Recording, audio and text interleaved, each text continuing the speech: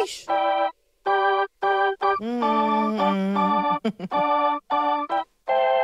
Girl, I'm about to have a panic attack. I did the work, it didn't work. That truth, it hurts. That damn, it hurts. That lovey dovey shit was not a fan of it. I'm good with my friends, I don't want a man, girl. I'm in my bed, I'm way too fine to be here alone. On other hand, I know my worth. And now he calling me. Why do I feel like this? What's happening to me? Oh.